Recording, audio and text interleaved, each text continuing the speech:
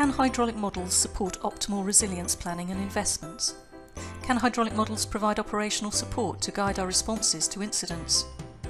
When we build purely demand-driven models, we assume that all model demand can be supplied. This isn't always the case and it can reduce confidence in the model. Take for example these two DMAs. Let's assume that the DMA2 inlet becomes isolated. How much of its demand can be supplied through the connecting boundary valve? This apparently easy question can't be easily answered with a normal demand-driven model, where pressure will be based on unachievable flows. This means we can't simply reconfigure the network and report flow through the valve.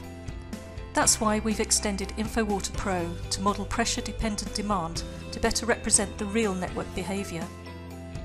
The DMA highlighted with the red dashed line is fed by a single pipe.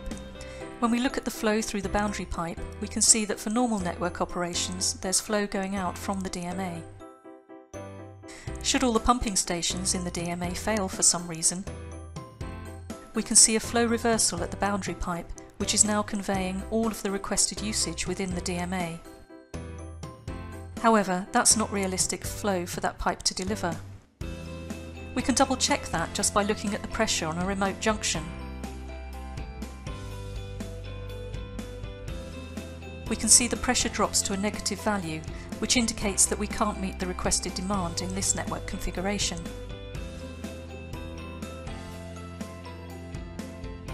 We've implemented a new way of modelling demand, functionality that is available within the simulation options.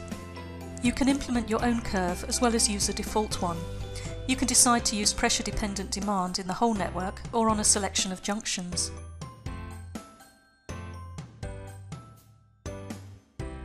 When we consider pressure-dependent demand, you can see a drastic reduction in the flow through the boundary pipe. We can use the standard reporting functionality in InfoWater Pro to display the different flows in three configurations to appreciate the different results between demand-driven models and pressure-dependent demand models.